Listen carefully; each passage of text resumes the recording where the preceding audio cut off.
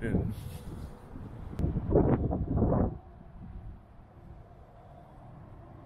Yeah, it's all done.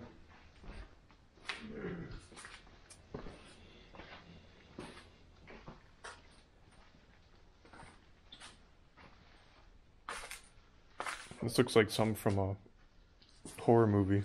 Yeah, it does. This is really cool, actually. Oh, check it out. There's a freaking restaurant in here, too. Sick.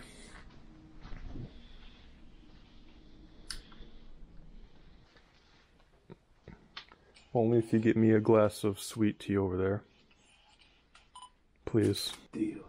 Well, by now it tastes like sweet pea, if anything. No.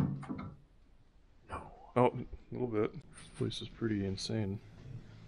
Dude. Huh. Holy shit. There's freaking money in here.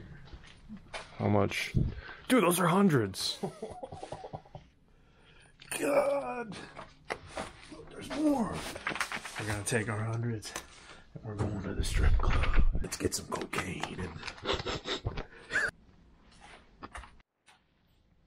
So guys, don't worry, we left the hundred thousand dollars here. We did not take it. I swear. Wow, this is pretty cool. this is a bank board here. Whew, yeah. That clock is pretty sweet. Yeah, wow. That is really cool.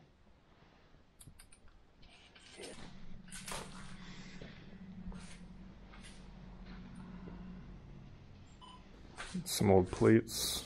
Oh, machine. What is this? It's like a cooler. Is it? Look at these old cups. these are straight out of the freaking. Oh my 90s. god. Look at these.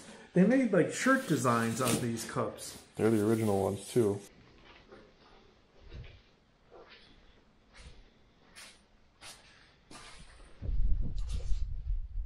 And Here's where the coolers were.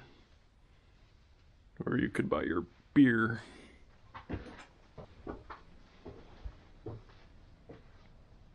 Exercise room. Probably shouldn't be up here for long.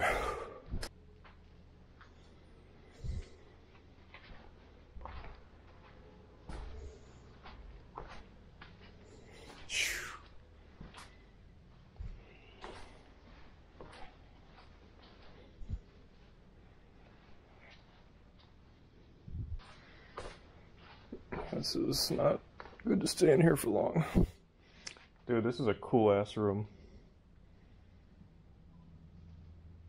Look at how these plants are just growing through the carpet. Wow, that is cool and creepy.